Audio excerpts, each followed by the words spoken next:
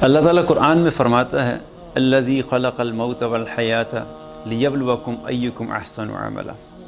کہ میں نے یہ موت اور زندگی کا جو نظام بنایا ہے میں نے زندگی اور موت کو پیدا کیا تاکہ میں یہ دیکھ سکوں کہ تم میں سے کون اچھا عمل کر کے واپس لوٹتا ہے۔ تو اللہ نے جو ہمیں زندگی موت کا جو سلسلہ شروع کیا ہے، اس میں اللہ تعالیٰ ہم سب کو آزما رہا ہے کہ جب تم مرنے کے بعد واپس میرے پاس آؤ گے تو میں یہ دیکھنا چاہتا ہوں کہ تم میں سے کون میری فرما برداری والی زندگی گزار کے آیا ہے اور کس نے میری نافرمانی کی؟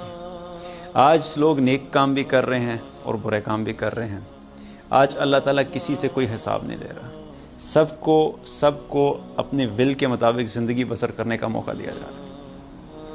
لیکن مرنے کے بعد یہ موقع جو آج ہمیں دیا گیا ہے، آج تیاری کا وقت اللہ نے دیا ہے۔ آج ہم سے کوئی کوشچنز نہیں ہو رہے۔ کل جب زندگی کا سلسلہ ختم ہو جائے گا اور موت آ جائے گی اور قبر میں ڈال دیا جائے گا، وہاں پر تیاری کا وقت ختم ہو جائے گا اور سوال جواب کا سلسلہ شروع ہو جائے گا اور اس امتحان کا رزلٹ قیامت کے دن اللہ تعالیٰ الٹیمیٹلی ہمیں کھول کے دکھا دے گا۔ حدیث میں آتا ہے، نبی صلی اللہ علیہ وسلم نے فرمایا کہ جب کسی جب جب میت کو قبر میں دفنا دیا جاتا ہے، تو اس کے اس کے خاندان والے اس کو بھی دفنانے کے بعد کچھ قدم ہی واپس جاتے ہیں تو اس کے پاس حساب کتاب کے لیے منکر نکیر آ جاتے ہیں۔ اس سے سوال جواب کرنے کے لیے دو فرشتے آ جاتے ہیں، منکر نکیر۔ اب یہ دو فرشتے کیسے ہیں؟ ان کا حلیہ نبی صلی اللہ علیہ وسلم نے حدیث میں بیان فرمایا، ملکان اسودان۔ یہ وہ دو فرشتے ہیں سیاہ رنگ کے، ان کا رنگ سیاہ ہے۔ اور ان کی آنکھیں کیسی ہیں؟ کس رنگ کی ہیں؟ ازرقان۔ ان کی آنکھیں نیلے رنگ کی، ان کی آنکھیں ہیں۔ اور آنکھوں کا سائز کیا ہے؟ مثل قدور النحاس۔ سائز کیا فرمایا کہ ایسے ہے کہ جیسے تانبے کے بڑے بڑے دیگچے ہوتے ہیں، ان کی آنکھوں کا سائز اس طرح بڑا بڑا آنکھوں کا سائز ایک بہت بڑا تانبے کے دیگچے کی طرح ہے۔ اور ان کے دانت کیسے ہیں؟ ان کے دانت کیسے ہیں؟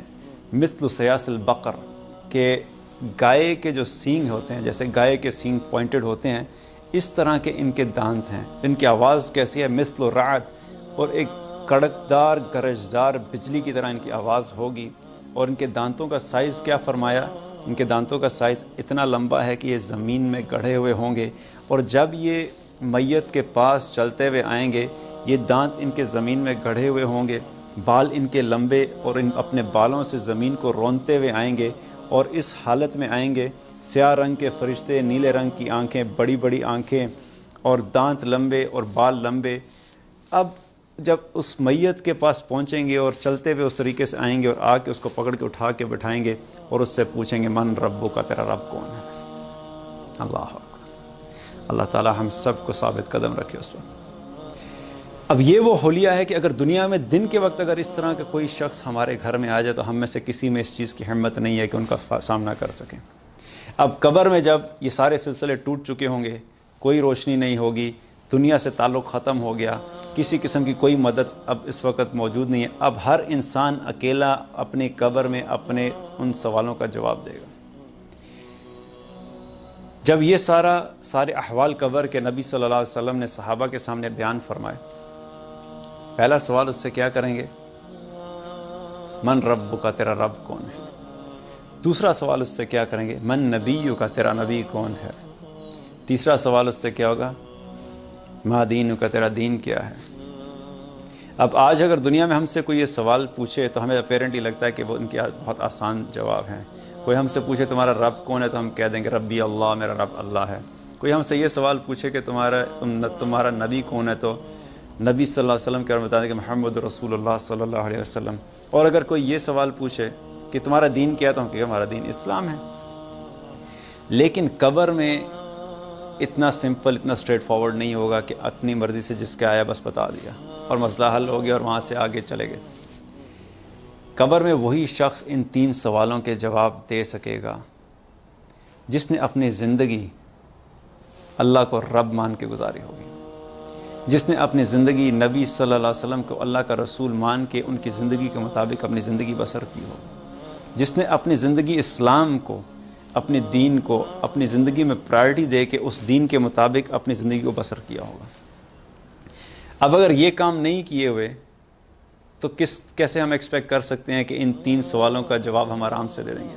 جب یہ احوال نبی صلی اللہ علیہ وسلم نے صحابہ کے سامنے بیان فرمائے کہ یہ اس طرح سے تمہارے ساتھ منکر نکیر آئیں گے قبر میں، تو صحابہ گھبرا گئے۔ انہوں نے کہا، یا رسول اللہ یہ اتنا اتنا اتنا مشکل مرحلہ ہے، اس کو ہم کیسے فیس کریں گے؟ ہم لوگ کیسے اس کو ان سوالوں کے جواب دے سکیں گے؟ تو نبی صلی اللہ علیہ وسلم نے قرآن کی آیت ان کو تلاوت کر کے فرمائی، یثبت اللہ الذین آمنوا بالقول ثابت فی الحیات دنیا و فی الاخرہ.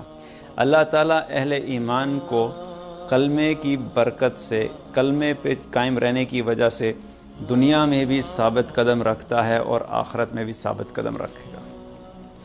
یہ کلمہ توحید ایسا ہے کہ جو شخص اپنی زندگی کلمہ توحید کے مطابق بسر کرے گا، اللہ تعالیٰ اس کو دنیا میں بھی ثابت قدم رکھے گا اور آخرت میں بھی ثابت قدم رکھے گا۔ حضرت عائشہ رضی اللہ تعالیٰ نے بھی جب نبی صلی اللہ علیہ وسلم سے یہی پوچھا کہ یا رسول اللہ، میں تو عورت ہوں، میں تو بڑی کمزور ہوں، تو میں ان کا سامنا کیسے کر سکوں گی؟ ان کو بھی نبی صلی اللہ علیہ وسلم نے یہی فرمایا کہ یہ کلمہ توحید اہل ایمان کو دنیا میں بھی ثابت قدم رکھے گا اور آخرت میں بھی ثابت قدم رکھے گا۔ اب یہ سوال سوالوں کا سلسلہ جب ہو جائے گا تو ایک وہ شخص ہوگا جو ان کا صحیح جواب دے دے گا اور ایک وہ ہوگا جو ناکام ہو جائے گا۔ جو شخص صحیح جواب دے دے گا، منکر نکیر اس سے چوتھا سوال بھی کریں گے۔ چوتھا سوال۔ اس سے چوتھا سوال یہ کریں گے، ما یدری کا کہ یہ یہ تینوں سوالوں کا جواب تمہیں کیسے پتہ لگا؟ ما یدری کا تمہیں کیسے معلوم ہوا کہ یہ تین سوالوں کا جواب یہ ہوگا؟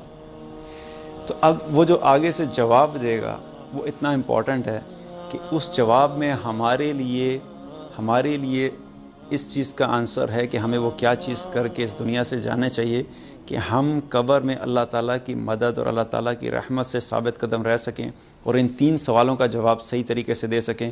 جب اس سے وہ پوچھیں گے کہ تمہیں یہ کیسے پتہ لگا، تو وہ آگے سے ان کو کیا جواب دے گا؟ کرا تو کتاب اللہ و آمن تو بھی و صدق تو میں اللہ کی کتاب پڑھا کرتا تھا۔ میں اس پہ ایمان لایا تھا اور میں نے اس کی تصدیق کی تھی۔ میں اس کتاب کو امپورٹنس دیتا تھا۔ مجھے اس بات کا یقین تھا کہ میرا جو حساب کتاب ہونے والا ہے، وہ اللہ تعالیٰ نے اس کتاب کو مجھے اس لیے دیا ہے کہ میں اس کو پڑھ کے، اس کے سمجھوں اور اس میں اللہ نے مجھ سے جو کچھ کرنے کا کہا ہے، وہ سب کروں اور جن چیزوں سے رکنے کا کہا ہے، میں ان سب سے رکوں۔ مجھے اس چیز کا یقین تھا، اس لیے میں اس کتاب کے مطابق اپنی تیاری کر کے آیا تھا۔ یہ وہ وجہ ہے کہ اس لیے مجھے آج ان تین سوالوں کے جواب پاتا ہے۔ اس میں کوئی شخص نہیں کہ، شک نہیں کہ جب تک اللہ کی رحمت کسی انسان کے ساتھ نہیں ہوگی، اس کا کوئی جواب نہیں دیتا لیکن یہ وہ کام ہے جو کہ حدیث میں آتا ہے کہ وہ شخص فرمائے گا کہ میں قرآن پڑھا کرتا تھا، اس کے مطابق اس اس کے میں اس پہ ایمان لایا تھا، اس کی تصدیق کی تھی اور اس کے مطابق میں اپنی زندگی بسر کیا کرتا تھا۔ اس لیے میں آج ان سوالوں کا جواب دے سکتا اس سے ہمیں کیا پتہ لگتا ہے کہ قرآن ایک ایسی اہم کتاب ہے ایک مسلمان کی زندگی میں۔ اس کے بغیر ایک مسلمان کی زندگی کا تصور نہیں ہے۔ This is like an oxygen to us کہ جس طرح آکسیجن کے بغیر زندگی کا تصور نہیں ہے اس طرح قرآن کے بغیر ایک مسلمان کی زندگی کا کوئی تصور نہیں ہے۔ آج ہمارا ایٹیچیوڈ ٹورڈز قرآن کیا ہے؟ آج ہم قرآن کو کتنا سیریس لیتے ہیں؟ ہم دنیا کی تمام کتابیں پڑھتے ہیں. By the time we are done with our masters M B A جب ہم کر چکے ہوتے ہیں تو سو سے زیادہ کتابیں پڑھ چکے ہوتے ہیں. سو سے زیادہ کتابیں پڑھ چکے ہیں. پھر ایم بی اے کر کے آج کل تو ایم بی اے کو بھی کوئی نہیں پوچھتا. تو ایم بی اے کے بعد ہمیں شوق ہوتا ہے کہ ہم نے ایم ایس کرنا ہے. پھر ہم ایم ایس کرتے ہیں. تو سو کے بعد اور کتابیں شروع ہو جاتی ہیں. پھر اس پہ بھی تسلی نہیں ہوتی. پھر آپ کہتے ہیں ہم نے پی ایچ ڈی کرنا ہے. پھر پی ایچ ڈی کرتے ہیں، اس پہ اور کتابیں شروع ہو جاتی ہیں. پھر ڈبل پی ایچ ڈی کرنا ہے. یہ ساری چیزیں میں یہ نہیں کہہ رہا کہ دنیا کی تعلیم حاصل کرنا کوئی غلط بات ہے۔ The point which I'm trying to make is کہ ان چیزوں کے اوپر تو ہم اپنی زندگی میں فل ڈیڈیکیشن کے ساتھ سو سے زیادہ کتابیں سیکھنے کے لیے تیار ہیں، لیکن وہ کتاب جو ہمارے لیے قبر میں کام آئے گی وہ کتاب جس کے ذریعے سے اللہ تعالیٰ ہمیں قبر میں ثابت قدم رکھے گا۔ وہ کتاب جس کے جس کے ذریعے سے ہم نے وہ جواب جو قبر میں سوال ہم سے ہوں گے، اس کے جواب ہمیں پتہ لگنے ہیں۔ اس کتاب کے ساتھ آج ہم کتنا سیریس ہیں۔ اس کتاب کو سیکھنے کے معاملے میں ہم کتنا سیریس ہیں۔ اس کتاب کو ہم روزانہ کھول کے کتنی دفعہ پڑھتے ہیں۔ روزانہ تو دور کی بات کئی کئی سال گزر جاتے ہیں۔ رمضان آتا ہے تو اللہ ماشاء اللہ کبھی کھل جائے، ورنہ تو کئی کئی سال گزر جاتے ہیں۔ کئی ایسے ہیں میرے جاننے والے، میری بات ہوئی تو ماسٹرز کیا، باہر سے پڑھ کے آئے اور ادھر بھی بڑی بڑی ٹریننگز بھی کر رہی ہیں، سب کچھ چل رہے ہیں۔ لیکن جب میں نے قرآن سے کس بارے میں بات کی تو انہوں نے کبھی مجھے قرآن پڑھنا آتا ہی نہیں ہے۔ میں نے قاعدہ ہی نہیں پڑھا۔